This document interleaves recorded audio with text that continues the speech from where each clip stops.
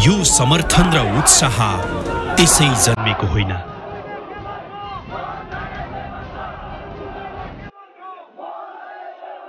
उहाँलाई साथ सहयोग गर्नको लागि चाहिँ हामी सदैव तत्पर हुनेछौँ। यो विश्वास त्यसै तयार भएको होइन।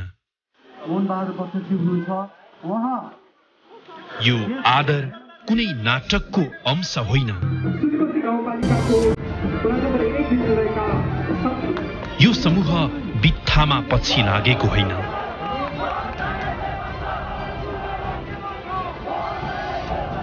नेपाली काङ्ग्रेस पीडामा मलम लगाएको परिणाम हो। व्यवस्थापन समितिका संयोजक मोहन बहादुर बस्नेतले खाद्यान्न सहयोग गर्नु जनता नभइकन कोही नेता हुँदैन। सरकारले नै नगर्यो भने पनि म आफै पनि गर्न सक्छु। विकासमा गरेको कामको नतिजा हो। जीवन स्तर उकास्न निरन्तर लागेको फल हो। भविष्यका मेरुदण्डमा गरिएको लगानीले जन्माएको निष्कर्ष हो।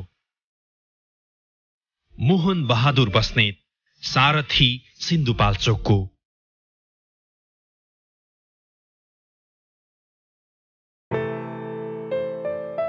राजधानीबाट छयासी किलोमिटरको दूरीमा रहेको जिल्ला हो सिन्धुपाल्चोक राजधानीबाट नजिक भइकन पनि विकासको गति भने चुस्त रूपमा अघि बढ्न सकेको छैन। प्राकृतिक स्रोत साधन सम्पदा कला संस्कृतिका दृष्टिले प्रचुर सम्भावना पनि बोकेको छ। तर उच्चतम सदुपयोग हुन नसक्दा औसत सक्षम जिल्लाको रूपमा समेत स्थापित हुन सकेको छैन। सिन्धुपाल्चोक जिल्ला आफैमा पर्यटन क्षेत्रले एउटा चाहिँ हराभरा भएको ठाउँ हो। र त्यसलाई हामीले चाहिँ व्यवस्थापन गर्नुपर्ने छ। हाइड्रो पावरलाई पनि अझ चाहिँ व्यवस्थित गरेर त्यसलाई चाहिँ निर्माण गरेर चाहिँ बढीभन्दा बढी अब राज्यले अब सम्पत्ति कमाउनु पर्ने अवस्था छ र त्यो सम्पत्तिको हिस्सा त्यो ठाउँले पनि प्राप्त गर्नुपर्ने हुन्छ।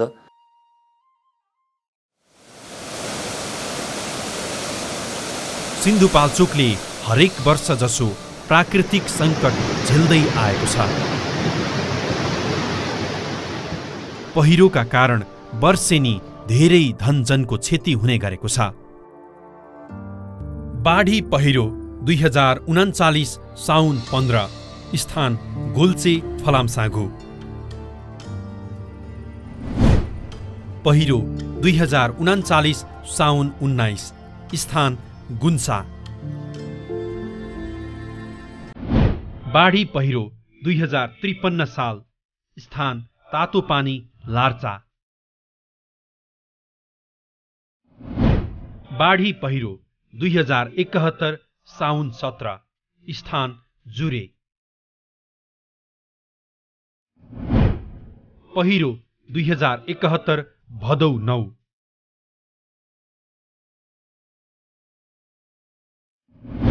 पहिरो दुई हजार एकहत्तर भदौ एघार स्थान साबिक महाङ्काल गाविस छ।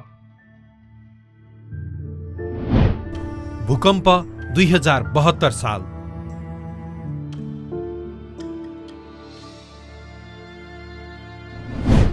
भुटेकोसी बाढी दुई हजार त्रिहत्तर असार।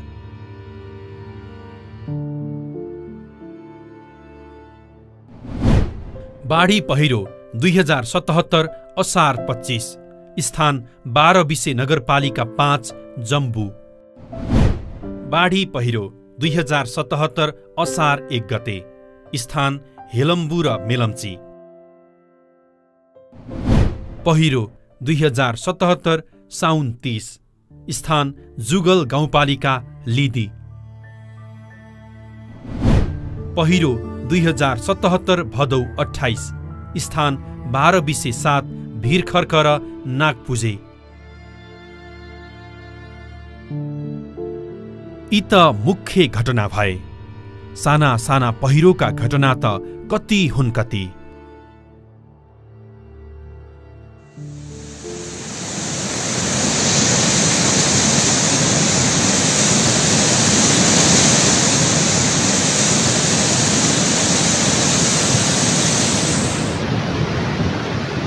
मिलम्चीमा आएको बाढीमा सातजनाको मृत्यु केही बेपत्ता र कैयौँ घर परिवार विस्थापित भए। सिन्धुपाल्चोकको मेलम्ची नदीमा आएको बाढीमा परि सातजनाको मृत्यु भएको छ भने मङ्गलबार साँझ आएको बाढी र पहिरोमा परि बेपत्ता भएका सातजना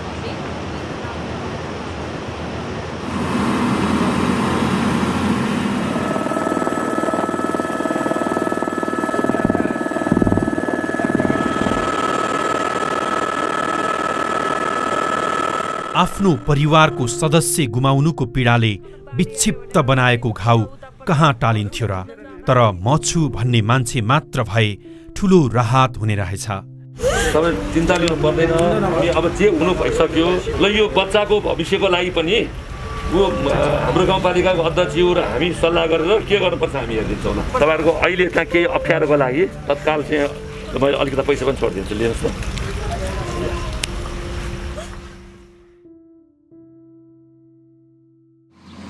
राति गएको बाढीले छेद विच्छेद बनाएको मेलम्ची र मेलम्चीवासीको मनका विषयमा सरकारले केही सोच्न भ्याएकै थिएन।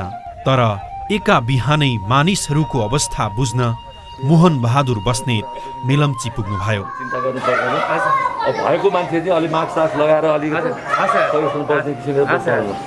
है त तपाईँहरू अहिले आ- आजबाट यहाँ है त अनि तपाईँहरूलाई अहिले चाहिँ तुरुन्त बस्ने चाहिँ कहाँ बस्नु लाग्नु भएको छ? अब बढी ठाउँ छैन सर अब माथि माथि कहाँ साट्छु भन्दै थियो।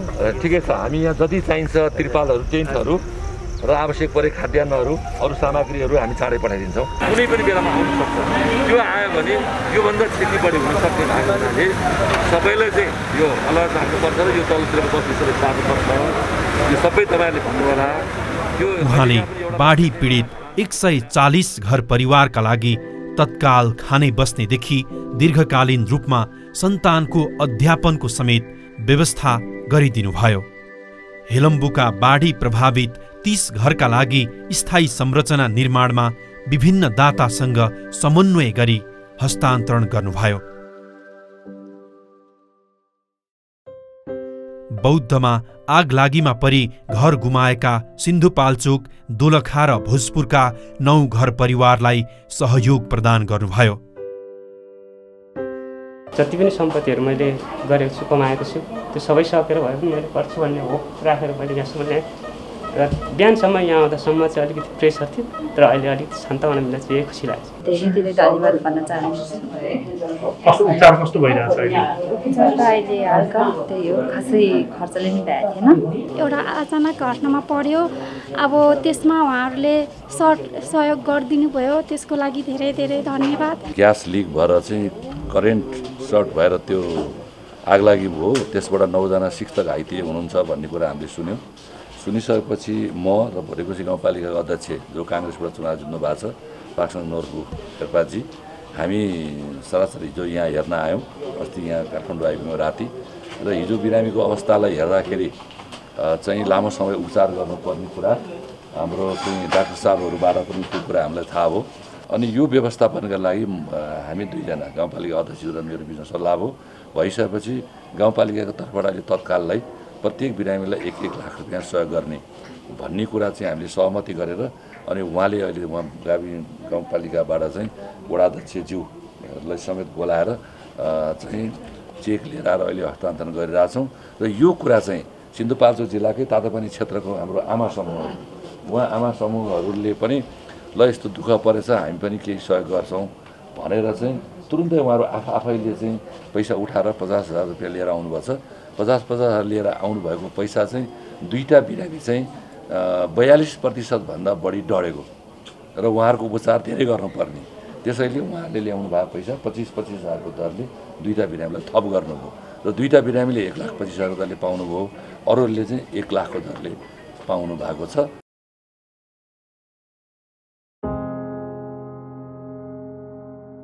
प्रदेश समितिको बैठक चल्दै थियो। निर्वाचनमा टिकट वितरणको लागि छलफल भइरहेको थियो। बस्नेतको मोबाइलमा फोन आयो। पिस्करमा पहिरो गएछ। उहाँ तत्काल मिटिङ छोडेर मानिसहरूको अवस्था बुझ्न पहिरो गएको स्थल पुग्नुभयो। त्यति मात्र होइन घाइतेहरूलाई घटनास्थलमा नै रकम वितरण गर्नुभयो। है यो परिवारहरूको लागि पछि केही अप्ठ्यारो पर्दा पनि हामी साथमा रहन्छौँ र वडा विपद तथा प्रकोपमा नेपाली कङ्ग्रेसका विभिन्न भातृ सङ्गठनले सहयोग गर्दै आएका थिए तर पार्टीभित्र छलफलका क्रममा बाढी र पहिरोमा काम गर्न छुट्टै समिति तयार गर्नुपर्ने विषय उठ्यो। धेरै ठाउँका विपद तथा बाढी पहिरोमा काम गरेको भएर पनि होला प्रधानमन्त्री तथा काङ्ग्रेस सभापति शेर बहादुर देउवाले मोहन बहादुर बस्नेतलाई नेतृत्व दिने प्रस्ताव गर्दा गड गटाहट ताली सहित स्वीकृत भयो। विपद व्यवस्थापनको एउटा कमिटी एउटा विभाग छुट्टै छ होइन एउटा चाहिँ। तर चाहिँ देशमा जुन बाढी र परेको प्रकोपबाट ज्याजती भयो र धेरै ठुलो धनजनको क्षति हुन थाल्यो नेपाली काङ्ग्रेस पार्टीको केन्द्रीय समितिको बैठकमा केन्द्रीय सदस्यज्यूहरूले अब यसलाई छुट्टै हेर्ने संयन्त्र बनाउनु पर्यो। एकजना काम गर्न सक्ने एउटा धरो अब केन्द्रीय सदस्यलाई चाहिँ एउटा संयोजक बनाएर टिम बनाउनु पर्यो भन्ने कुरा उठ्यो। पार्टीमा व्यापक रूपमा यो बहस भयो। बहस भएपछि आदरणीय सभापति शेरबहादुर देउबाज्यूले यो विपदकोमा धेरै काम गरेको मान्छे काम गर्न सक्ने मान्छे फिल्डमा उत्रेर खटिरहेछ आफैले गरेर काम गरिरहेछ। त्यस कारणले म मोहन बस्नेतको नाउँ प्रस्ताव गर्छु भनेर प्रधानमन्त्रीज्यूले त्यतिखेरको हाम्रो सभापतिज्यूले प्रस्ताव राख्नुभयो। राखेपछि आदरणीय नेता बलबहादुर केसीज्यूले चाहिँ ल अहिले तपाईँले गतिलो मान्छे ठान्नुभयो भन्नुभयो र धेरै नेताहरूले त्यसलाई तारिफ गर्नुभयो समर्थन गर्नुभयो। घर जलेर पूर्ण क्षति भएको दुवाचौर मेलम्चीका बाबुराम गोले हुन् या काठमाडौँ महानगरले ठेला र मकै जफत गरेका आचार्य दम्पति। सहयोगका लागि हात बढाउन कहिल्यै चुक्नु भएन। नगरपालिकाले तपाईँहरूको गाडा खोस्यो मकै सडकमा छरिएको पनि हामीले देखेका थियौँ। तपाईँको व्यवसाय अप्ठ्यारोमा नपरोस्। भोलि अझै केही अप्ठ्यारो पऱ्यो भने हामीलाई सम्झिनुहोस्। हामी तपाईँलाई अरू सहयोग पनि हामी गर्छौँ। र अहिले हामीले एकाउन्न हजार रुपियाँ व्यवस्था गरिदिएका छौँ।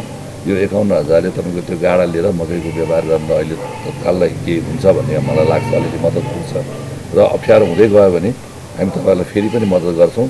र तपाईँहरूले मिहिनेत गरेर दुईवटा बच्चाहरूलाई जो अहिले स्कुलमा राम्रोसँग पढाइरहनु भएको छ बच्चाहरूको पाठनमा चाहिँ अप्ठ्यारो नपरोस् र तपाईँहरूको व्यवसायलाई अप्ठ्यारो नपरोस् र मैले फेरि भन्न चाहन्छु भोलि अप्ठ्यारो बेलाहरू आयो भने हामी तपाईँहरूलाई सहयोग गर्छौँ र मेरो फेरि तपाईँलाई अनुरोध चाहिँ के छ भने तपाईँले व्यवसाय गर्दाखेरि सडक यातायातमा चाहिँ अप्ठ्यारो नपर्ने गरी गरिदिनु होला र राम्रोसँग तपाईँहरू काम गरेर बच्चा पढाइदिनुहोस्। हामीले एकाउन्न हजार रुपियाँ दिएको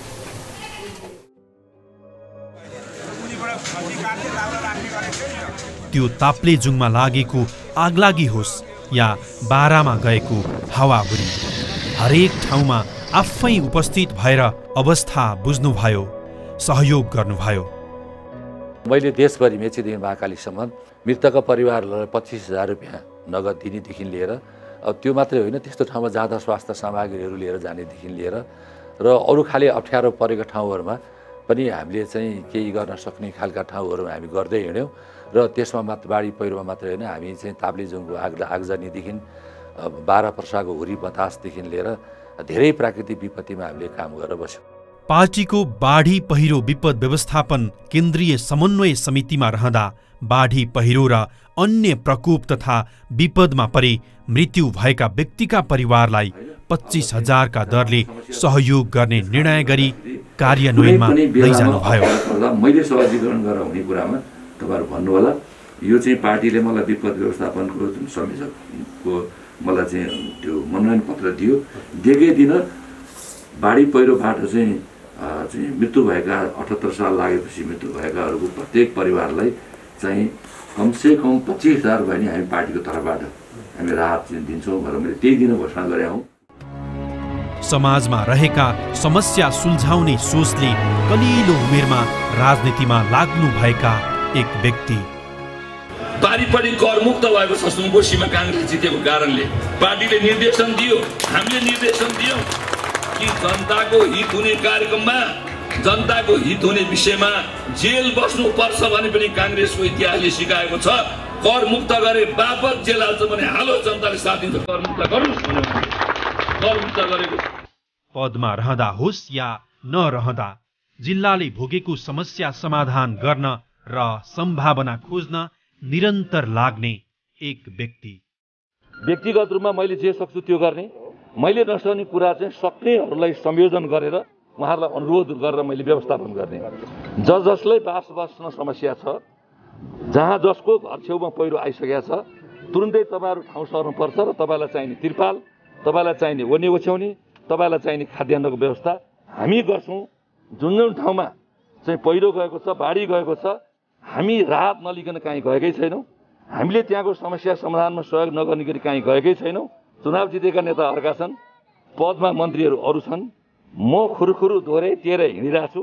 तर उहाँहरू एकपाला आउनुभयो जानुभयो केही लिएर आउनु भएन त्यसपछि अनुहार देखिएको छैन। त म चाहिँ यहाँका मान्छेहरूसँग बसेर हरेक खालको सुख दुःखमा हिजो पनि साथ दिएँ आज पनि साथ दिन तयार छु। तयार मात्रै छैन म त्यो हैसियत राख्ने पनि मान्छे हो। मान्छे नै घटना भएलाई चाहिँ मोहनजी आएर कहिले बिस हजार कहिले पच्चिस हजार यस्तै दिनुभएछ होइन? हाम्रै यहाँ नेता भन्नेहरू चाहिँ कस्तो भयो भने सर यो तर्नु छैन। सिन्धुपाल्चोकको विकासका निम्ति अहोरात्र खटिने एक व्यक्ति। नेपालको समृद्धिका बारेमा सिन्धुपाल्चोकले सबभन्दा पहिलो समृद्धि सुरुवात गरेको छ। सबैका घरहरू ढलान भएका छन् आरसिसी ढलान भएका छन्। जस्ताले छाएका छन् अथवा भूकम्प प्रतिरोधमा बनेका छन्।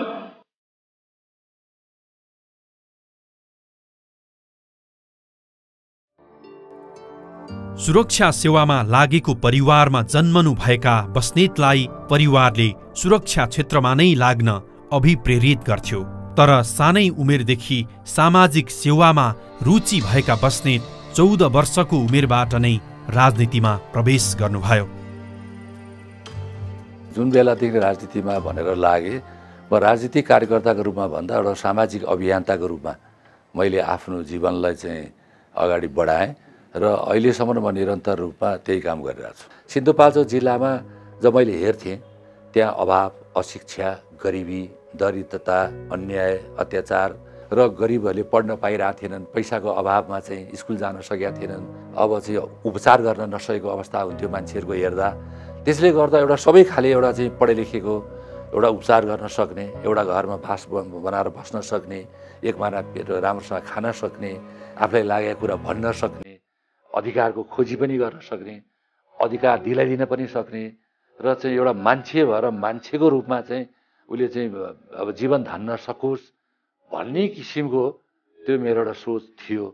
त्यो सोचका लागि यसो हेर्दाखेरि जतै जताततै यस्तो चाहिँ अप्ठ्यारो स्थिति देखिसकेपछि अब मैले चाहिँ सबभन्दा पहिला मैले राजनीति रूपमा राजनीति परिवर्तनलाई नारा दिएर हिँडिनँ। मैले सामाजिक काम गरेर हिँडेँ।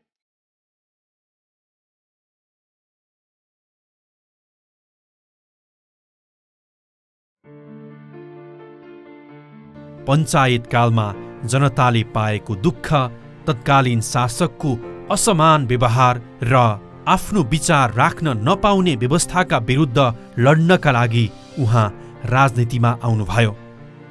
पञ्चायतकालमा जनताले दुःख पाएको देख्थेँ पढ्न नपाएको देख्थेँ अनि अनावश्यक मान्छेहरूलाई चाहिँ मुद्दा लगाएको देख्थेँ अनि अब गरिबहरूको पक्षमा बोलिदिने मान्छे देखिँदैन थियो। टाठाबाठाहरूले मात्रै चाहिँ अलिकता चाहिँ अब सुविधाहरू पाउने टाठाबाठाहरूको मात्रै समाजमा बोली बिग्ने हुन्थ्यो। त्यतिखेरको रहिरहेको पञ्चायती व्यवस्थाभित्र बोल्न नपाइने आफ्नो अभिव्यक्तिको स्वतन्त्रता थिएन त्यतिखेर। मान्छेले आफूले चाहेको कुरा बोल्न पाउने भन्न पाउने आफ्नो अभिव्यक्ति स्वतन्त्रता जुन बेलासम्म हुँदैन त्यो बेलासम्म मान्छेको मुख बन्द गरेर चाहिँ परिवर्तन गर्न सकिँदैन भन्ने एउटा मलाई थियो। र त्यो कुरा चाहिँ मलाई नेपाली कङ्ग्रेसले नै एउटा अभिव्यक्तिको स्वतन्त्रता दिन्छ भन्ने खालको मलाई भयो। सिन्धुपाल्चोकमा कसरी शिक्षामा विकास गर्ने कसरी त्यहाँका मान्छेहरूलाई चाहिँ राजनीति सचेत बनाउने त्यो हिसाबमा पनि म लाग्न थालेँ। विद्यार्थी राजनीतिको यात्राले नै उहाँलाई दुई हजार छयालिस सालमा पार्टी राजनीतिमा ल्यायो। त्यसपछि क्षेत्रीय सभापति जिल्ला सचिव हुँदै बिस वर्षसम्म पार्टी जिल्ला समितिको नेतृत्व गर्नुभयो। पार्टीको केन्द्रीय समितिमा दोस्रो कार्यकाल केन्द्रीय सदस्य हुनुहुन्छ। राजनीतिलाई धेरैले पेसा बनाएको बस्नेतलाई पटक्कै मन परेको छैन। राजनीति धर्म हो। राजनीति परिवर्तनका लागि चाहिँ यो चाहिँ एउटा गर्नुपर्ने एउटा कर्म हो। सबै जनताहरूको समृद्धि प्राप्त गर्ने यो एउटा माध्यम हो र राजनीति चाहिँ एउटा पूर्ण रूपमा सेवा हो र यसलाई यसरी नै लिनुपर्छ। त्यसैले हरेक खालका प्राकृतिक विपत्ति हरेक खालका विकास निर्माण हरेक खालका जनतालाई परेका अप्ठ्याराहरूमा म सधैँभरि त्यही किसिमले म प्रस्तुत भएर आइरहेको छु भोलिका दिनमा पनि शुद्ध एउटा सेवाको हिसाबले शुद्ध विकास निर्माणको हिसाबले शुद्ध परिवर्तनको हिसाबले शुद्ध जनताको जीविकामा मद्दत पुग्ने हिसाबले जनताको जीवनस्तर उठाउने हिसाबले र चाहिँ जनतालाई रोजगारी दिलाउने हिसाबले जनतालाई हरेक दृष्टिकोणबाट यो सुख सुविधा आर्जन गराइदिने हिसाबले चाहिँ हामीले राजनीति कर्मीहरूले यो गर्नुपर्छ र त्यही अनुसारले हामी हिँड्नुपर्छ भन्ने मान्यता बोकेर म अहिले पनि अगाडि बढिरहेको छु। पञ्चायत कालको अन्त्य भएर प्रजातन्त्र आए पनि सिन्धुपाल्चोकमा पञ्चशक्तिहरू नै बलियो भएको अवस्थामा पहिलो पटक संसदीय निर्वाचनमा घुमिनुभयो पहिलो हारले जिल्ला सङ्गठन बलियो बनाउने उत्प्रेरणा दियो। फलस्वरूप विक्रम सम्बत दुई हजार छप्पन्न सालमा संसदीय निर्वाचनमा विजयी भएर अन्ठाउन्न सालमा स्वास्थ्य राज्य मन्त्री समेत हुनुभयो। राज्य मन्त्रीका रूपमा एघार महिना मात्र मन्त्रालयमा रहे पनि बस्नेतले धेरै काम गर्नुभयो। निजी अस्पतालको मापदण्डका विषय उठान भइरहँदा सरकारी अस्पतालको सुधार र निजी क्षेत्रका अस्पताललाई मापदण्डमा ल्याउन बस्नेतले काम गर्नुभयो। प्राइभेट हस्पिटलहरू मापदण्ड विपरीत अलिकति सञ्चालन भयो भन्ने गुनासो बढेको थियो।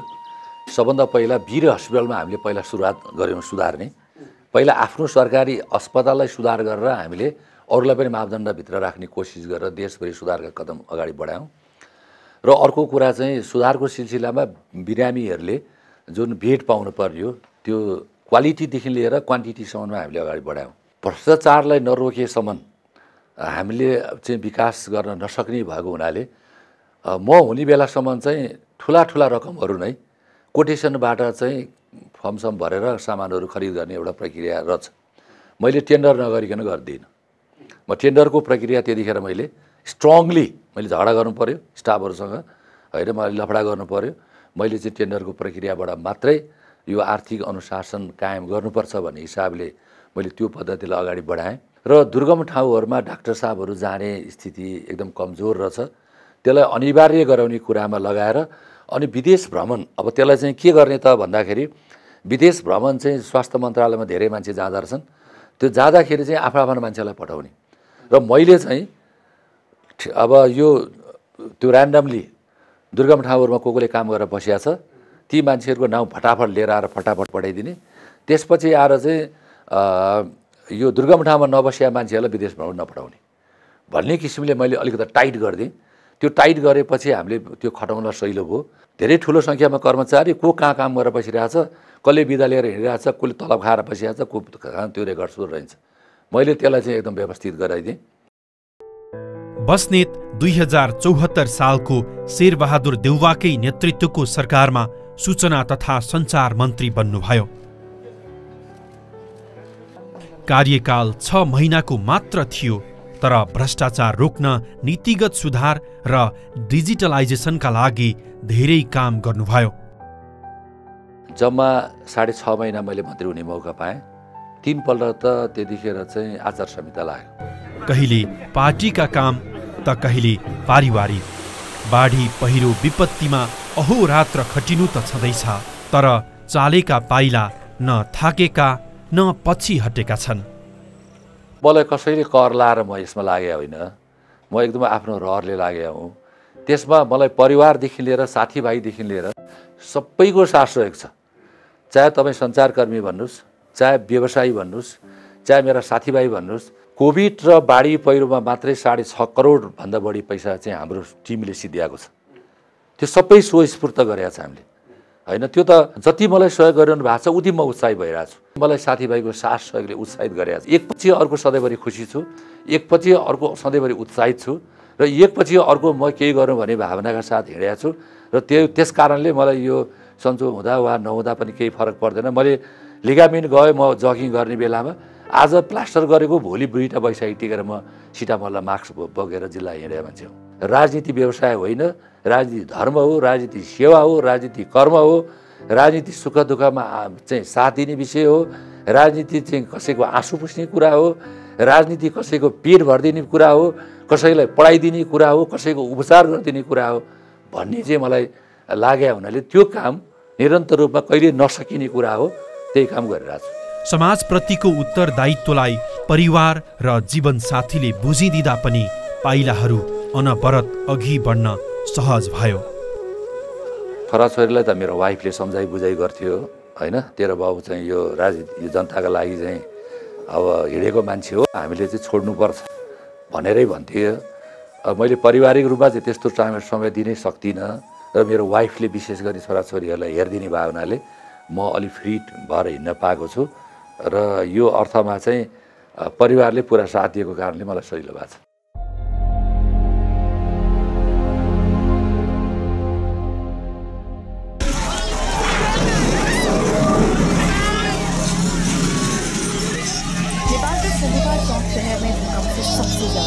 भूकम्पबाट सर्वाधिक क्षति पुगेको जिल्ला सिन्धुपाल्चोक जहाँ धेरै धन जनको क्षति भएको छ। Hello and welcome to our continuing coverage of the earthquake in Nepal. महाभूकम्पमा देशभर आठ हजार नौ सय सत्तरी मानिसले ज्यान गुमाए भने बाइस हजार भन्दा बढी व्यक्ति घाइते भए। लाखौं मानिस घरबार विहीन भए। सबैभन्दा धेरै क्षति भोगेको सिन्धुपाल्चोकमा मात्रै तीन हजार पाँच सय त्रिहत्तर जनाको ज्यान गयो। ने नेपाल के सिंधुपाल चौक जिले को बुरी तरीके से तबाह कर दिया सो अवस्थामा बस्नेतले पार्टी र पार्टीको भातृ संगठन सदस्यहरूलाई लिएर जिल्लामा पुग्नुभयो।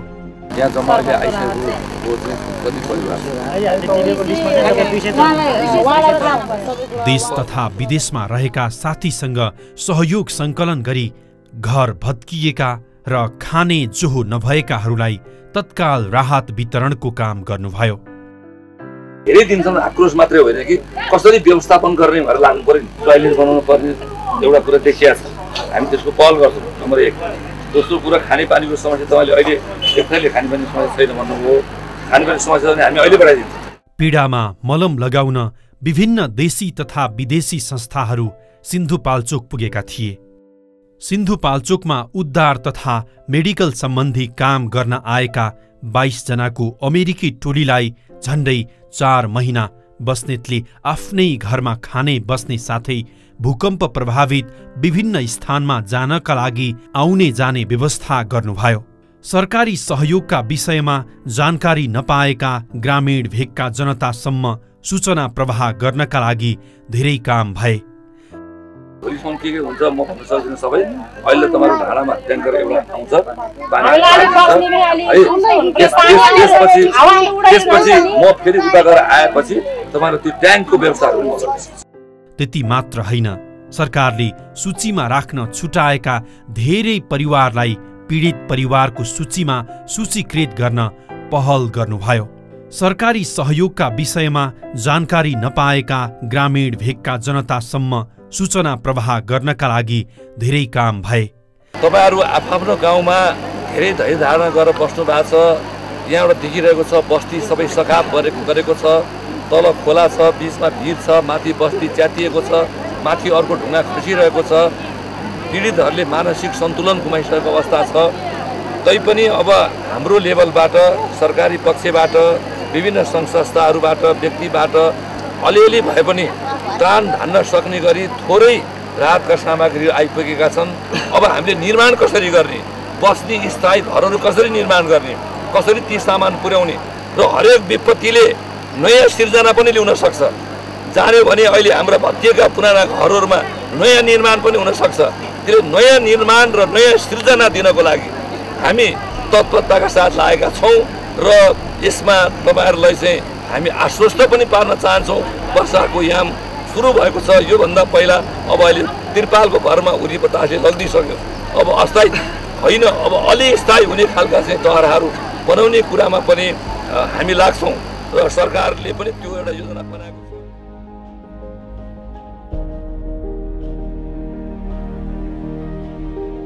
COVID cases are once again on the rise globally in the UK, Portugal, Israel, and the US. In the first two years of the pandemic worldwide, it was thought around five and a half million people died from COVID. Corona भाइरसका कारण विश्वमा नै स्वास्थ्य सङ्कट आयो विश्वका ठूला देश पनि चिन्तामा थिए उपचारमा आवश्यक अक्सिजन नपाएर धेरैले ज्यान गुमाए नेपालमा कोभिडका कारण नौ दिनको सुत्केरी सावित्री तिमल सिन्हाको मृत्यु भयो। यो नेपालमा कोभिडका कारण मृत्यु भएको पहिलो घटना थियो। एकजनाको मृत्यु भएको छ। कोभिड भन्ने सुन्दा मात्र पनि डराउने अवस्था थियो। डरका कारण कतिपय स्थानमा अस्पतालबाट फर्किएका चिकित्सकलाई बस्तीमै छिर्न नदिने सम्मका घटना भए। तर बस्नेत आफै अस्पतालमा पुगेर कोभिडका कारण श्रीमती गुमाएका श्रीमानलाई ढाडस दिने काम गर्नुभयो। जन्मेको केही दिनमा नै आमा गुमाएको छोराको अध्ययनदेखि रोजगारीसम्मको जिम्मेवारी लिनुभयो। तत्काल बच्चाको स्याहार सुसारका लागि सहयोग हस्तान्तरण गर्नुभयो। कोभिडबाट सिन्धुपाल्चोकको सावित्री तिमल सिन्हा चालिसे भन्ने बहिनी बित्नुभयो पहिलो मृत्यु। उहाँको नौ दिनको छोरा छोडेर जानुभयो।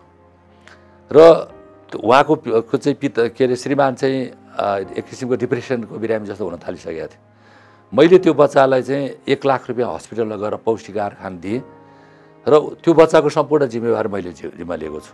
मैले यतिसम्म जिम्मा ल्याएको छु कि त्यो बच्चा यदि म त राजनीति गर्ने मान्छे म काहीँ त केही हुन पनि सक्छ दुर्घटना हुन पनि सक्छ। मेरो वाइफलाई यो बच्चा चाहिँ तिमीले पढाइनुपर्छ ब्याचलरसम्म। भन त बाह्र क्लाससम्म भनेर ल्यायो हामीले। तर ब्याचलरसम्म पढाइनुपर्छ भनेर मैले भनेर घरमा हराएर बसिएको छु। सो समयमा चीनबाट अक्सिजन सिलिन्डर ल्याएर सिन्धुपाल्चोक र देशका विभिन्न अस्पतालहरूमा वितरण गरियो। सयभन्दा धेरै त अक्सिजन कन्सन्ट्रेटर नै वितरण गर्नुभयो।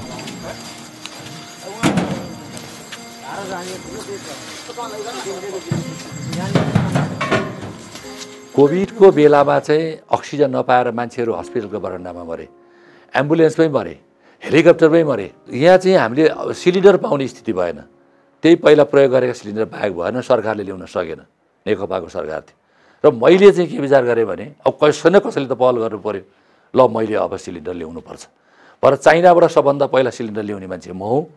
र त्यो सिलिन्डर लिएर आएर सिन्धुपाल्चोक मात्रै होइन।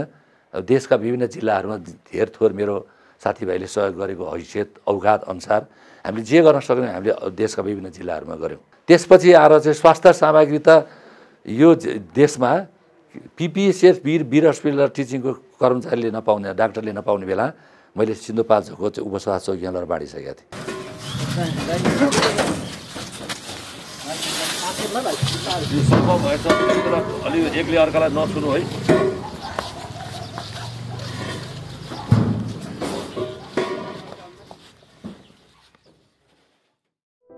रगतको अभावका कारण उपचारमा कठिनाई भइरहेको छ भन्ने थाहा पाएपछि खेलकुद विभाग र लोकतान्त्रिक खेलकुद सङ्घको ब्यानरमा तेत्तिस जिल्लामा रक्तदान कार्यक्रम सञ्चालन गरी रगत सङ्कलनमा सहयोग गर्नुभयो। कोभिडको बेला हुँदा हुँदै पनि देशभरि धेरैवटा ठाउँमा हामीले खेलकुदका गतिविधि गऱ्यौँ र विशेष गरी मानवीय संवेदनाको हिसाबले ब्लड ब्याङ्क र नेपाल रेड क्रस सोसाइटीले रगतको अभाव हो भनेर सूचना जारी गर्यो। तेत्तिसवटा जिल्लामा हामीले रक्तदान कार्यक्रम गऱ्यौँ र मैले भनेको थिएँ कि सबै जिल्लामा जुन जुन जिल्लामा आवश्यक पर्छ रगत हामी उपलब्ध गराइदिन्छौँ भनेर भन्यौँ। त्यतिखेर खेलाडीहरू ओलम्पिकमा जाने खेलाडी र प्रशिक्षकको कोरोना बिमा पनि हामीले गराइदियौँ। त्यो बेलामा हामीले चाहिँ यो तेह्रौँ साफमा गोल्ड मेडल ल्याउनेहरूलाई चाहिँ नगदसहितका सम्मानहरू पनि हामीले गऱ्यौँ र धेरैवटा जिल्लाहरूमा खेलकुदका गतिविधि राष्ट्रिय स्तरको त्यसपछि आएर चाहिँ प्रादेशिक स्तरको र जिल्ला स्तरको गेमहरू पनि हामीले गऱ्यौँ कोरोनाका बिरामी उपचारको सहजताका लागि अन्य आवश्यक स्वास्थ्य उपकरण र सुरक्षा सामग्रीको वितरण मात्र होइन क्वारेन्टाइन समेत निर्माण गरियो। सिन्धुपाल्चोकका सत्र स्थानमा अक्सिजन सहितको कोरोना उपचार सेवाको सुरुवात गरियो। पचास बेडको हैसियत यहाँ रह्यो।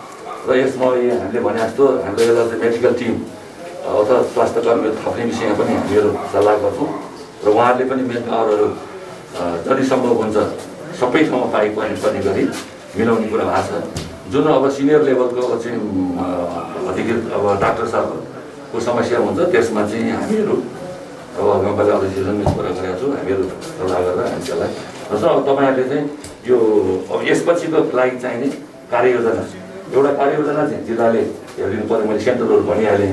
यो ठाउँ हामी सबै ठाउँमा गर्छौँ। जहाँ मेडिकल अधिकृत चाहिँ अथवा चाहिँ डक्टर लेभलको दरबन्दी छ त्यहाँ सबै ठाउँमा हामी चलाउँछौँ। आम नागरिक कोभिडको त्रासमा रहेका बेला स्वास्थ्य कर्मी भने दिनरात उपचारमा संलग्न थिए। उनीहरूको आत्मबल बढाउन बस्नेतले व्यक्तिगत रूपमा सिन्धुपाल्चोकमा कार्यरत छ सय सत्रजना स्वास्थ्यकर्मी तथा एम्बुलेन्स चालकको स्वास्थ्य बिमा गरिदिनुभयो। ती मध्ये सय बढी बिमाबाट लाभान्वित समेत भए। त्यति मात्र होइन जटिल परिस्थितिलाई मनन गर्दै आफ्नो व्यक्तिगत सवारीलाई एम्बुलेन्सको रूपमा प्रयोग गर्न दिनुभयो। तत्कालीन मात्र होइन। दीर्घकालीन सोचसहित सुनकोशी गाउँपालिकाको ठोकरपामा अक्सिजन प्लान्ट नै स्थापना गरियो। रगत भण्डारणका लागि बाह्र बिसे र चौतारामा रेफ्रिजेरेटर हस्तान्तरण गर्नुभयो भने मेलम्ची अस्पतालमा सो बराबरको आर्थिक सहयोग गर्नुभयो। लायन्स क्लबको सहयोगमा क्यालिफोर्नियाको सिआरडिटी संस्थाले अङ्गेरी पाखामा सामुदायिक स्वास्थ्य चौकी निर्माण गरिदियो। यी संस्थाले आजको दिनमा पनि कर्मचारीका लागि आवश्यक पर्ने तलब लगायत अन्य सहयोग उपलब्ध गराउँदै आएका छन्। नेपालमा रहेका सहयोगी हात मात्र होइन। विदेशमा रहेका नेपाली र विदेशी सङ्घ संस्थाहरूबाट समेत सहयोग सङ्कलन गरी बस्नेत जिल्लाको विकासमा निरन्तर लागिरहनुभयो।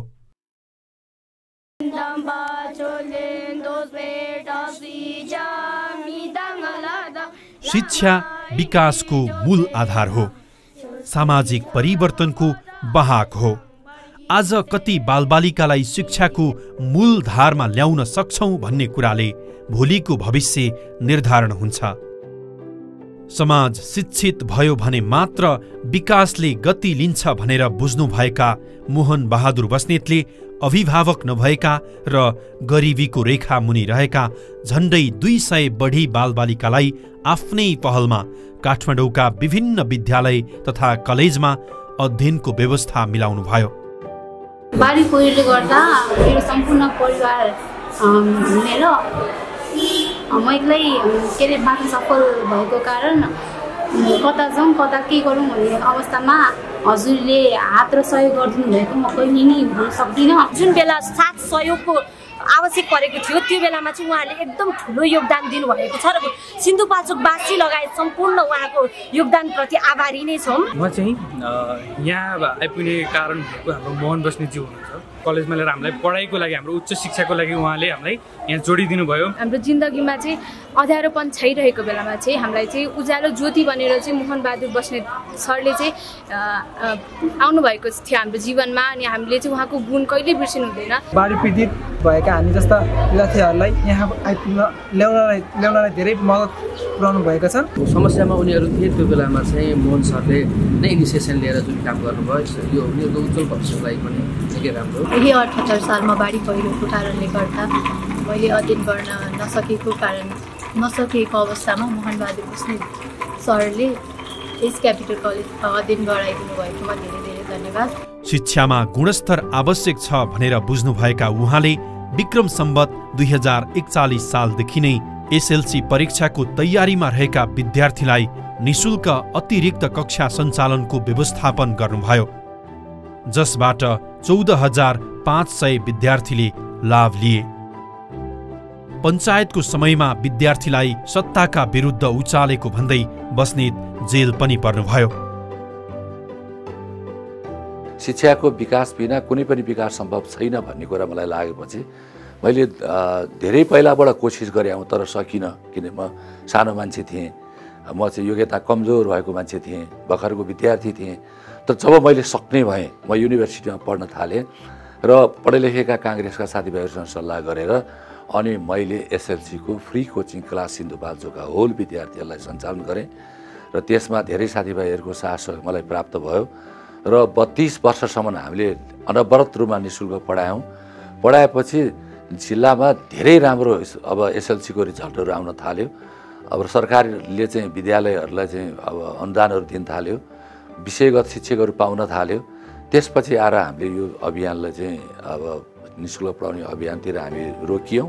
त्यति मात्र होइन आफ्नै पहलमा विभिन्न ठाउँबाट सहयोग सङ्कलन गरी जुरे ड्याम साइट स्थित वन साँघुमा पुस्तकालय भवन निर्माणका लागि शिलान्यास गर्नुभयो।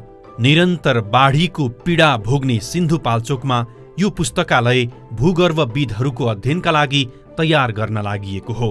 यो कार्यमा बेलायतमा रहेका नेपालीहरूको साथ र सहयोग रह्यो। अन्तर्राष्ट्रिय स्तरको भूगर्भविदहरूको एउटा अध्ययन चाहिँ एउटा केन्द्रको रूपमा यसलाई स्थापित गर्नुपर्छ भन्ने मान्यताका साथ यो अहिलेको पुस्तकालय सुरु गर्न लागेका हौँ। आफ्नो निर्वाचन क्षेत्रभित्रका स्थानीय तहका प्रमुखलाई निर्देशन दिएर बाह्र कक्षासम्मको अध्ययन निशुल्क गराउनुभयो।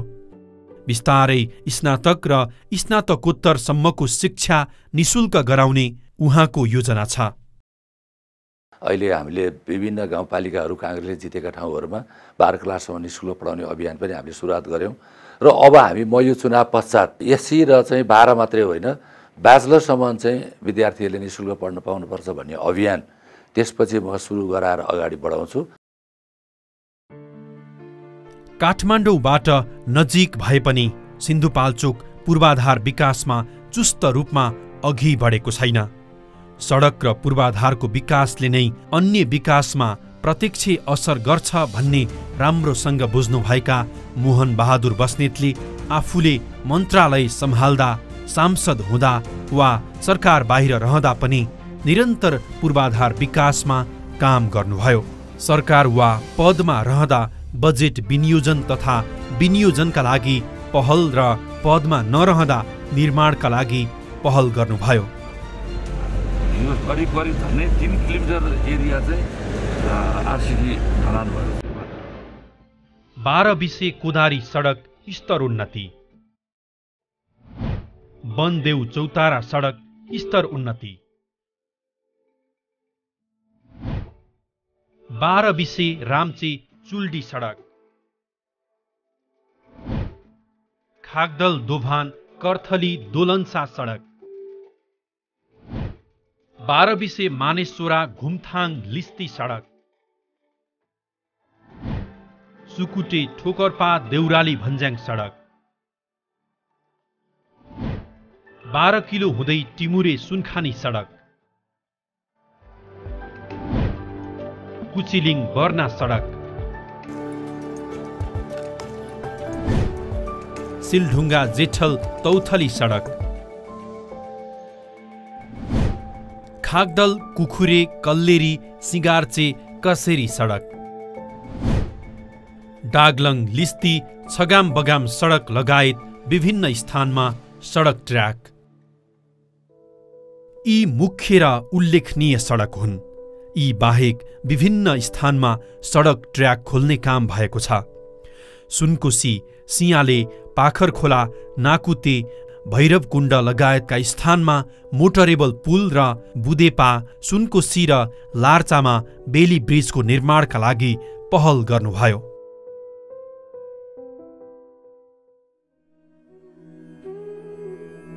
सिन्धुपाल्चोकको ठोकरपाले सधैँ खानेपानीको समस्या झेल्थ्यो जसका कारण त्यहाँका नागरिकको दैनिकी निकै कठिन थियो तर अहिले खानेपानीको पर्याप्त आपूर्ति हुन्छ। सात सय छयासी घर तथा भवनमा बाल मैत्री धाराहरू निर्माण भएका छन्।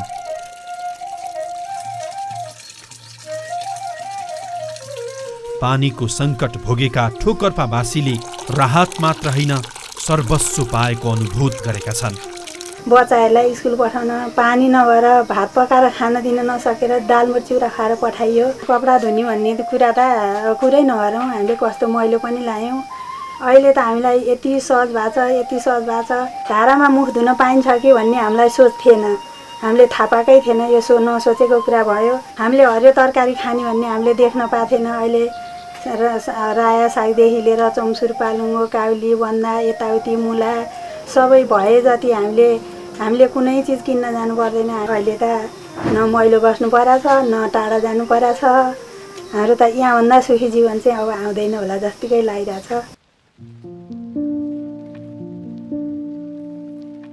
बस्नेतले जित्नु भएको निर्वाचन क्षेत्रका सबै घरमा बिजुली बलेको छ। जिल्लाभरि नै कुनै पनि घर परिवारले अँध्यारोमा रात बिताउन नपरोस् भन्ने हेतुले उहाँ निरन्तर लागिरहनुभयो। तत्कालीन तीन निर्वाचन क्षेत्र रहेको सिन्धुपाल्चोकका एक र दुई नम्बर क्षेत्र लोड सेडिङ मुक्त भइसकेका थिए। बस्नेतले विभिन्न सरोकारवाला निकायसँग भेटघाट र छलफल गरी निर्वाचन क्षेत्र नम्बर तिनलाई लोड सेडिङ मुक्त बनाउन पहल गर्नुभयो। एक नम्बर क्षेत्रमा जहाँ मैले चुनाव लडेको थिएँ र जितेको थिएँ त्यो ठाउँमा बत्ती नबलेको कुनै घर पनि छैन र मोटर नगएको कुनै गाउँ पनि छैन। र त्यही कुरा चाहिँ म दुई नम्बर क्षेत्रमा गर्न चाहन्छु। एउटा चाहिँ बाढी पहिरोको प्रकोपबाट पीडा भएको ठाउँमा तत्कालै त्यसलाई काम गर्नुपर्नेछ र त्यसको साथसाथमा अरू ठाउँहरू पनि विकास निर्माण छायामा परेका ठाउँहरू छन्। बाटाघाटाहरूको स्तर उन्नति गर्नु छ पुल पुलिसाहरू बनाउनु छन् झोलङ्गे पुलहरू बनाउनु पर्नेछ र अहिले बस्ती ठुला ठुला फाँटहरू खेतहरू बारीहरू यसलाई बगाइरहेको अवस्था छ। त्यो नदी कटानलाई रोक्नु पर्नेछ स्कुल कलेजहरूलाई कटान गरेको छ। तिनीहरूको संरक्षण गर्नुपर्नेछ खेलकुदले मानिसलाई स्वस्थ राख्छ र स्वस्थ व्यक्तिले नै सकारात्मक सोच्न सक्छ भन्ने विषयलाई आत्मसात गर्ने बस्नेतकै पहलमा लामु साँघु र अँगेरी पाखा सहित अन्य धेरै स्थानमा खेल मैदान निर्माण भए। खेलाडीको स्तरमा सुधार गर्ने हेतुले खेलाडीहरूको लागि प्रशिक्षक मार्फत तालिमको व्यवस्था गरिएको छ। पौडी खेलमा रुचि जगाई खेलाडी उत्पादन गर्न सकियोस् भन्ने हेतुले सुनकोशी गाउँपालिकाको एमुना र बाह्रबिसे नगरपालिकामा उहाँकै पहलमा स्विमिङ पुल निर्माण गरियो।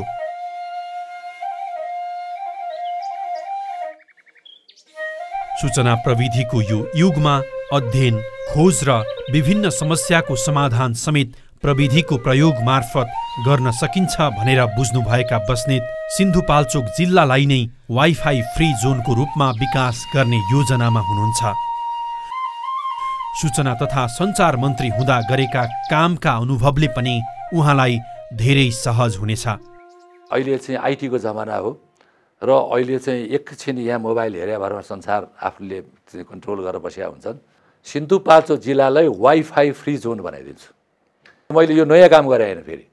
म जब सञ्चार मन्त्री भएको छु स्वयम्भू पशुपतिनाथ पद्मकन्या कलेज सगरमाथाको बेस क्याम्प र अन्नपूर्ण हिमालको बेस क्याम्प। यो ठाउँलाई चाहिँ वाइफाई फ्री जोन मैले गराइदिएको छु। फ्री वाईफाई की सुविधा माउंट एवरेस्ट तक पहुंच चुकी है। इससे ये पता चलता है कि जनहित के काम बड़ी बड़ी बातें करने से नहीं बल्कि इच्छा शक्ति से होते हैं। और फ़िलहाल नेपाल की सरकार ने ऐसी इच्छा शक्ति दिखाई है। खुशखबरी आई है। दुनिया के सबसे ऊँचे पहाड़ पर अब आपको सांस लेने में तो दिक्कत आ सकती है लेकिन फेसबुक और ट्विटर का इस्तेमाल करने में नहीं। समाजका फरक आयाममा समानान्तर विकासका लागि निरन्तर काम गर्दै आउनुभएका उहाँले शिक्षा र स्वास्थ्य क्षेत्रको सुधार पूर्वाधारको विकास लगायतका क्षेत्रमा अनेकन काम गर्नुभएको छ। समाज परिवर्तनको लागि राजनीतिमा संलग्न हुनुभएका बस्नेत साँच्चै आज आम सिन्धुपाल्चोकवासीका लागि शीतल चौतारी बन्नु भएको छ। सिन्धुपाल्चोक जिल्ला क्षेत्र नम्बर दुईमा मलाई अहिले मेरो पार्टी र लोकतान्त्रिक वाम गठबन्धनले निर्वाचन लड्नका लागि पठाएको छ र मैले मेरा कार्यक्रमहरूबाट मेरो भनाइहरूबाट धेरै कुराहरू मैले हिजो एक नम्बर क्षेत्रमा के गरेँ दुई नम्बरमा के गरेँ यी कुराहरू केही आइ पनि सकेको अवस्था छ र मैले जसरी एक नम्बर क्षेत्रको भौतिक पूर्वाधार निर्माणको कमदेखि लिएर रोजगारीका अवसरहरू सिर्जना गर्नेदेखि लिएर जुन जुन क्षेत्रमा मैले चाहिँ धेरै काम गरेको छु अब दुई नम्बर क्षेत्रमा पनि मैले हिजोका दिनमा नि शुल्क कोचिङ क्लास पढाउने बाढी पहिरो आएपछि पुल बनाइदिने मेलम्चीको अस्पताल बनाइदिने अनि त्यो ठाउँको लोड सेडिङ मुक्त गर्नका लागि जिल्ला स्तरीय मेरो नेतृत्वमा स्थानीय स्तरमा सागर श्रेष्ठजीको नेतृत्वमा जुन हामीले पहल कदमी गरेर लोड सेडिङ मुक्त गराइदियौँ र यावत विभिन्न त्यहाँका बच्चाहरूलाई अहिले पनि ल्याएर त्यहीँ पढाइराखेका छौँ। यी यावत कुराहरू चाहिँ हामीले बारम्बार गरेकै हौँ। चाहे भूकम्प बाढी पहिरो कोभिड एकनासले हामीले चाहिँ काम गऱ्यौँ। कोभिडमा चाहिँ धेरै ठाउँमा चाहिँ नि शुल्क उपचार केन्द्रहरू खोल्यौँ स्वास्थ्य सामग्रीहरू बाँड्यौँ हस्पिटलहरूलाई चाहिँ हामीले इक्विपमेन्टहरू लगायत स्वास्थ्य सामग्री बाँड्यौँ। यी आदि कुराहरू एक ठाउँमा छन्। चनौटीमा रातो पुल बगायो। तुरुन्तै मेरो सक्रियतामा सरकारले त्यहाँ पुल बनाइदियो। हामीले तिन चारवटा पुल तत्काल बनाउनु छ मोटरेबल पुलहरू। त्यसको लागि मेलम्ची बजारबाट पाँच पोखरी चौतारा जोड्ने जुन चाहिँ एउटा पुल छ त्यो पुल चाहिँ हामी जेठ मसान्तसम्ममा हामीले त्यो ठाउँमा बेली ब्रिज हालिदिन्छौँ। यो कुरा मैले गरेर भनि पनि सकेँ। त्यो कुरा चाहिँ म लगायत हाम्रो टिमले त्यो काम गर्छ। त्यसपछि आएर उतापट्टि दुबाचौ र बाँसखर्क जोड्ने मेलम्चीमै एउटा पुल अर्को गएको छ। त्यो लामो दुरीको पुल भएको हुनाले त्यसलाई चाहिँ यो बेली ब्रिज प्राविधिक रूपमा सम्भव छैन भनेको छ। त्यसलाई हामी तत्कालै बजेट विनियोजन गरेर त्यो मटेरियल पुल बनाउन पनि हामी लाग्छौँ र नाकुते मेलम्ची घ्याङ जाने नाकुते पुल मेरै सक्रियतामा बनाइदिएको हो पहिला। त्यो पुल पनि हामी त्यहाँ बेली ब्रिजै हुन्छ भन्ने कुरा छ। त्यहाँ पुल चाहिँ यो पिलर बगाएको रहेनछ। त्यो पिलर माथि नै टेकाएर हामी त्यहाँ बेली ब्रिज हाल्ने क्रममा त्यहाँ पनि लागिरहेछौँ र अरू केही मटेरियल पुल र केही झोलङ्गे पुलहरू हामीले बनाउनु पर्ने छ प्राथमिकताको आधारमा। त्यसपछि आएर यो बाढी पहिरोले कटान गरेका ठुला ठुला बस्ती त्यहाँ चाहिँ विस्थापित गरेका घरहरू बगाएका घरहरू र ठुला सडकहरू र साना सडकहरूको सञ्जाललाई त्यसले छेद विच्छेद गरेको छ। एउटा ठुलो प्रोजेक्ट लिएर गएर सिन् सिन्धुपाल्चोक जिल्लालाई पहिला जस्तै गरी बाढी पहिरो अति प्रभावित जिल्लाको सूचीमा राखेर त्यहाँ अरबौँ रुपियाँ पैसा लिएर गएर तटबन्ध गरेर खेतीयोगी जमिन जनताका घर र सडकहरू र अरू सार्वजनिक सम्पत्ति जोगाउनु परिन्छ स्कुलहरू अस्पतालहरू। त्यसका लागि हामी अर्को प्राथमिकताका साथ त्यो क्षेत्रमा हामी त्यसरी काम गर्छौँ। त्यो चाहिँ हेलम्बु पाँच पोखरी मेलाम्ची लगायत इन्द्रावतीको तल्लो बेल्ट र चौतारा साङचौगढी नगरपालिकाको तल्लो बेल्ट पर्छ। त्यसलाई हामी एउटा ठुलो प्रोजेक्ट लिएर हामी काम गर्छौँ। त्यसपछि आएर चाहिँ धेरै सडकहरू बिग्रेका छन्। धेरै सडकहरू स्तर उन्नति गर्नुपर्नेछ र यो पाँच वर्षको कार्यकालभित्र पन्ध्रवटा बहुवर्षीय आयोजना सडकहरू जो अरबौँको बजेटले निर्माण हुन्छन् ती सडकहरू लामा दुरीका र धेरै जनघनत्वलाई त्यसले चाहिँ प्रभाव पार्ने र फराकिला सडक जो बनाउनु परिन्छ त्यसलाई हामी चाहिँ पाँच वर्षभित्रमा कम्तीमा पनि पन्ध्रवटा सडक मेरै नेतृत्वमा बनाउने विषयमा चाहिँ मैले आफ्ना धारणाहरू सार्वजनिक गरेका छु र त्यो काम हामी गर्छौँ। त्यसपछि आएर चाहिँ ठुला ठुला खानेपानीका त्यहाँका त्यो चाहिँ आयोजनाहरू पनि यो बाढी पहिरोले प्रभावित गरेको छ। त्यसलाई तुरुन्तै व्यवस्थापन गर्ने काम हामी गर्छौँ। घरहरू धेरै विस्थापित भएका छन् धेरै भत्केका छन् र केही मैले तत्कालै पनि तिसवटा घर सङ्घ संस्थालाई भनेर बनाएर साँचो हस्तान्तर पनि गरेको छु र बाँकी झेलम्बु गाउँपालिकाले केही घर बनाएको छ र अब अझै त्यहाँ धेरै घरहरू बनाउनु पर्नेछ। त्यो घरहरू म सरकार र गैर सरकारी सम्पत्ति वा सङ्घ संस्थालाई गुहारेर जति पनि घरहरू त्यहाँ निर्माण गरेर ती बाढी पहिरोबाट विस्थापित भएकाहरूलाई पुनर्वास गराउनु पर्ने हो। त्यो काम मैले गर्नुपर्छ र मेरो नेतृत्वमा हुनुपर्छ र हामी लोकतान्त्रिक गठबन्धनको तर्फबाट त्यो काम पनि हामी गर्छौँ। र अर्को कुरा चाहिँ हामीले तत्काल त्यहाँ चाहिँ गर्नुपर्ने कुरा के छ भने मेलम्ची खानेपानी आयोजना अरबौँ अरब पैसा त्यहाँ सिद्धिसक्यो। त्यो क्षेत्रमा दस वर्षसम्म लगातार जितेको नेकपा एमालेको नेता शेरबहादुरजीले बरु उल्टो त्यो मेलम्ची खानेपानीको गाडी प्रयोग गर्ने त्यहाँका सम्पत्तिहरू प्रयोग गर्ने जनताका आवाज नसुनिदिने र त्यो खानेपानीलाई चाँडोभन्दा चाँडो काठमाडौँ ल्याउने र त्यहाँका जनताको हक अधिकार पनि स्थापित गर्ने कुरामा लाग्नु भएन।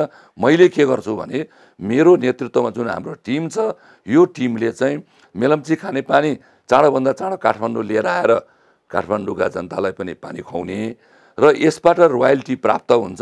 त्यो रोयल्टीको निश्चित प्रतिशत सिन्धुपाल्चोकको क्षेत्र नम्बर दुईका जनताहरूलाई त्यहाँ त्यहाँको विकास निर्माणमा त्यो खर्च गर्ने। गरी हामी निश्चित प्रतिशत त्यो रोयल्टीको पैसा ल्याएर त्यहाँको जनताको हक अधिकार पनि हामी स्थापित गर्छौँ। त्यो कुरा पनि धेरै महत्त्वपूर्ण छ भन्ने मलाई लाग्छ त्यो काम हामी गरेर देखाउँछौँ। त्यसपछि सिन्धुपाल्चोक जिल्ला आफैमा पर्यटन प्रबन्धनको हिसाबले महत्त्वपूर्ण जिल्ला हो। र त्यसमा पनि त्यसमा पनि दुई नम्बर क्षेत्र चाहे गुफा डाँडा भन्नुहोस् चाहे हेलम्बु भन्नुहोस् चाहे पाँच पोखरी भन्नुहोस् अनगिन्ती दर्जनौँ ठाउँहरू यहाँ चाहिँ पर्यटन प्रवर्धनको हिसाबले महत्त्वपूर्ण ठाउँहरू छन्। केन्द्रीय बजेट अहिलेसम्म त्यो ठाउँमा गएको छैन र स्थानीय निकाय त्यसपछि आएर चाहिँ यो चाहिँ प्रदेश र सङ्घ मिलाएर हामी त्यहाँ उचित बजेट व्यवस्थापन गरेर सिन्धुपाल्चोक जिल्ला पर्यटकहरूका लागि एकदमै काठमाडौँबाट नजिकको गन्तव्य महत्त्वपूर्ण गन्तव्य र स्वदेशी विदेशीहरूको लागि आकर्षणको केन्द्र हुने गरी पर्यटन प्रबन्धन गराएर त्यो ठाउँको स्थानीय रोजगारी अभिवृद्धि गर्ने र सिन्धुपाल्चोकको क्षेत्र नम्बर दुईलाई संसारभरि चिनाउने काम हामी त्यो क्षेत्रमा गर्छौँ। अब त्यसपछि आएर खेतीपाती योग्य भूमिहरू सिन्धुपाल्चोक क्षेत्र नम्बर दुईमा धेरै बढी छ। त्यसैले अहिले बिगारेका सिँचाइहरू पनि बनाउँछौँ र सिन्धु भ्यालीमा एउटा सिँचाइ हामीले सुरु गरिसकेका छौँ बहुवर्षीय र अरू तालामारङ मेलम्चीका आसपासका फाँटहरू माङकाल यताउतिका फाँटदेखि लिएर भोताङ र चाहिँ यो गुन्साकोट थाङपालकोट थाङपाल धाप चारवटा वार्डलाई बाह्र पन्ध्र करोड रुपियाँ मात्रै भयो भने पनि ठुलो सिँचाइ हुन्छ त्यहाँ। अब त्यसका बारेमा पनि हामी छलफल गरेर आएको छौँ हामी गर्ने भएको छ। एउटा महत्त्वपूर्ण सिँचाइको आयोजना चाहिँ हामी मेलम्चीको नजिकबाट इन्द्रावती खोलालाई फर्काएर ढोटार भीमटार लगायतका रानीटार लगायत बडे बडे त्यहाँ चाहिँ चाहिँ खेतीयोग्य जमिनहरू छन् सुक्खा ठाउँहरू छन् जहाँ लाखौँ लाख रोप्ने जग्गाहरू छ।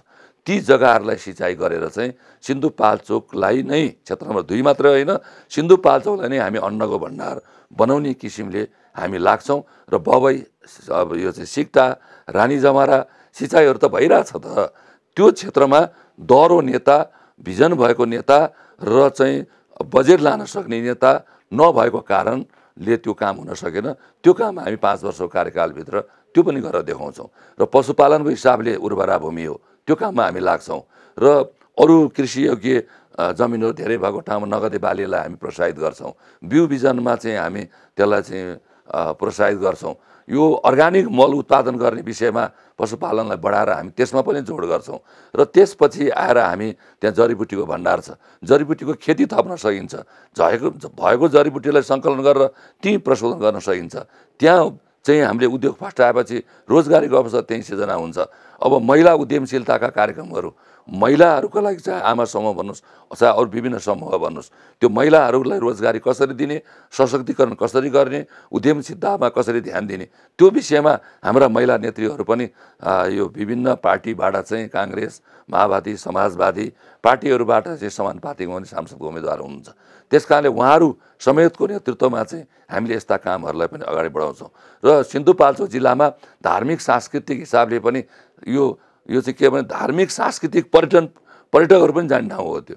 त्यसैले मठ मन्दिर चैत्य स्तुपा गुम्बा लगायतका चाहिँ यो सांस्कृतिक धरोहर जो छ यो चाहिँ पुरा तात्विक हिसाबले महत्त्व राख्ने त्यो कुराहरूलाई पनि हामीले ध्यान दिएर यसमा पनि हामी चाहिँ मिहिनेत गर्छौँ बजेट विनियोजन गराउँछौँ।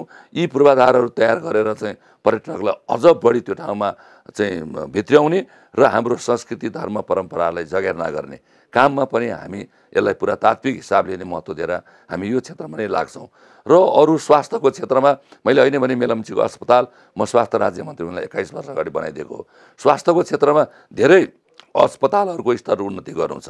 हामी त्यो काममा लाग्छौँ। हिजो मैले काम गरेपछि युवराज दुलालजी मन्त्री भएपछि केही काम गर्नुभएको रहेछ र काङ्ग्रेसको निमा लामाजी प्रदेशको स्वास्थ्य मन्त्री भएपछि केही काम गर्नुभएको छ। तर शेरबहादुरजी स्वास्थ्य मन्त्री हुनुभयो सङ्घीय स्वास्थ्य मन्त्री हुनुभयो उहाँबाट केही स्वास्थ्य सेवा गरेको देखिएन।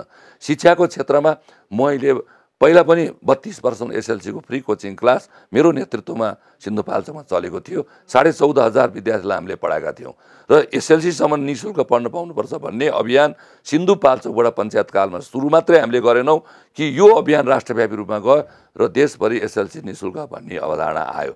त्यसपछि हामीले सिन्धुपाल्चोक जिल्लामै बाह्र क्लाससम्म नि शुल्क भनेर विभिन्न स्कुलहरूबाट हामीले चाहिँ बाह्र क्लास नि शुल्क गराउने कार्यक्रमहरू गाउँपालिका समेतको नगरपालिका समेतको बजेटमा हामीले सुरु गरिसक्यौँ। यसलाई जिल्लाभरि नि शुल्क गराउँछौँ र म चुनाव जितेर आएपछि मेरो टिम चुनाव जितेर आएपछि हामी सिन्धुपाल्चोकबाटै ब्याचलरसम्म स्नातकसम्मको क्लास नि शुल्क पढाउने अभियान सुरु गर्छौँ र त्यसलाई पनि देशव्यापी रूपमा लाने कोसिस गर्छौँ। बाह्र क्लास पनि अब देशव्यापी रूपमा लाने हामीले प्रयास हामी गर्छौँ।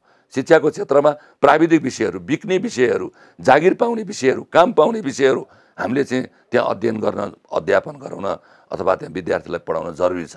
त्यसका लागि केही प्राविधिक शिक्षा सुरु भएको छ त्यसले पर्याप्त भएको छैन। त्यसैले यो प्राविधिक शिक्षा विषय छानेर मैले भने बजार पाउने विषयहरू के के हुन् त्यो विषयहरूमा हामी प्राथमिकता साथ लाग्छौँ। जुन कुरा म मेरो आफ्नो जीवनकालको बाल्यकालदेखि कलेजको कालदेखि म यो काममा लागेको छु त्यो काममा हामी लाग्छौँ। त्यसैले अब त्यसपछि आएर चाहिँ त्यहाँ जुन ढङ्गले चाहिँ पीडित मान्छेहरू स्कुल जान नसक्ने पढाउन नसक्ने अप्ठ्यारोमा परेका चाहिँ जुन मान्छेहरू छन् त्यसलाई यी कुराहरूले मद्दत हुन्छ।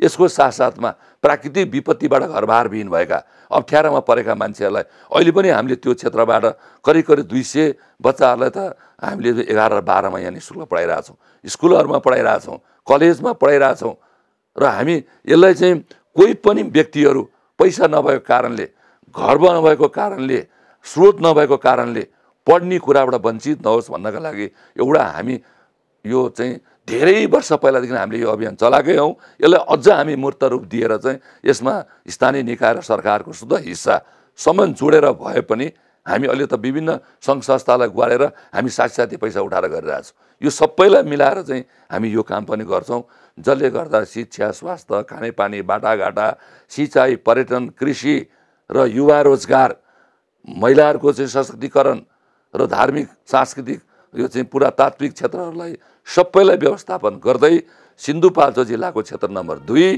साटेर लिएर आएको जस्तो क्षेत्र पाँच वर्षभित्रमा र त्यो ठाउँ नेपाल अधिराज्यभरकै एउटा नमुना निर्वाचन क्षेत्र संसदीय निर्वाचन क्षेत्रको रूपमा विकसित गर्ने गरी त्यहाँका जनताको भविष्य निर्माण गर्ने गरी त्यहाँका जनताहरूको चाहिँ समृद्धि बढ्ने गरी त्यहाँका सबै खालका चाहिँ अहिले भौतिक पूर्वाधारका दृष्टिकोणले अभाव भएका ठाउँहरूमा हामी यो काम सम्पन्न गर्ने गरी पाँच वर्षभित्रमा तिस वर्षमा अरूले नगरेको काम गरेर त्यहाँका आदरणीय मतदाताहरूलाई खुसी पारेर यस्ता उम्मेदवार यस्ता जनप्रतिनिधि सधैँभरि चाहिन्छ भने हामी पार्छौँ। जसरी मैले सिन्धुपाल्चोकको एक नम्बर क्षेत्रमा मैले चाहिँ पटक पटक चुनाव जितेर मन्त्री भएको हैसियतले होस् वा नहुँदाको अवस्थामा होस् जसरी त्यहाँका पूर्वाधारहरू भौतिक पूर्वाधारमा सहयोग गरेको छु र त्यहाँका चाहिँ अब प्राकृतिक विपत्तिमा सहयोग गर्दै आएको हो र अप्ठ्यारो पर्दा सबै खालको जिम्मा नै हामीले लिएर चाहिँ जो काम गरिरहेछौँ र यी सबै विश्वासको आधारमा हिजो काम गरेको विश्वासको आधारमा भोलि सबै काम गर्छ भन्ने आधारमा हामीलाई अहिले के एमाले के माओवादी के काङ्ग्रेस के राप्रपा के जनमोर्चा के समाजवादी सबै पार्टीहरूका चाहिँ ग्रासरुटका जनताहरूले ग्रासरुटका आदरणीय मतदाताहरूले मलाई एकदमै माया गरेको अवस्था छ र हाम्रो टिमलाई माया गरेको अवस्था छ। हाम्रो टिममा परेका माओवादी केन्द्रका युवराज दुलालजी जो मान्य प्रदेशको मन्त्री हुनुभयो र अर्को कृष्ण कुमार तामाङ समेतजी जो युवा उन्तिस वर्षको युवा हो। हामी सबैलाई माया गरेको अवस्था हो। त्यस कारणले दुई नम्बर क्षेत्रको भविष्य निर्माणको लागि त्यहाँ त्यो ठाउँमा चाहिँ विकास निर्माणमा काया पलट गर्नका लागि तिस वर्षभित्र नगरेको काम पाँच वर्षमा गर्नको लागि यो टिमलाई अत्यधिक मत दिएर त्यहाँका आदरणीय मतदाताहरूले हामीलाई चुनाव जिताउनुहुन्छ भन्ने कुरा हामी विश्वस्त छौँ। हामी त्यो क्षेत्रको पाँचैवटा पालिकामा हामी घुमेर आइसक्यौँ। त्यो घुमेर आउँदाखेरि हामीलाई चाहिँ त्यो गठबन्धन दलका मात्रै होइन त्योभन्दा बाहेकका आदरणीय नेता कार्यकर्ताहरूले पनि हामीलाई भेट्न आउनु भएको छ आफै। फोन गर्नुभएको छ। ल विकास गर्ने मान्छेहरू तपाईँहरूलाई हामी भोट दिन्छौँ। ल हामी वाक्क भयौँ। एमालेलाई भोट दिँदा दिँदा। त्यस कारणले हामी सहयोग गर्छौँ भन्ने अरूका पनि र एमाले भित्रका पनि विकास प्रेमीहरू अन्यायमा परेकाहरू अत्याचारमा परेकाहरू त्यो ठाउँको विकास चाहनेहरू परिवर्तन चाहनेहरू उहाँहरू पनि तपाईँ जस्तो मान्छे आएपछि हामीले दुई दुईपल्ट भोट हालिसक्यौँ दस वर्ष मान्ने बनायौँ। अब दिँदैनौँ अब तपाईँलाई दिन्छु। भन्ने खालको जुन किसिमको एउटा मैले त्यो प्राप्त गरेको छु त्यसबाट म अझ हौसिएको छु त्यसबाट म अझ उत्साहित भएको छु अझ बढी काम गर्न पर्ने पर्छ भन्ने भावना बोकेर चाहिँ हामी अझ त्यो ठाउँलाई थप के गर्न सक्छौँ। त्यो विषयमा प्लानिङ गर्दै हामी अगाडि बढिरहेछौँ मोहन बहादुर बस्नेत सारथी सिन्धुपाल्चोकको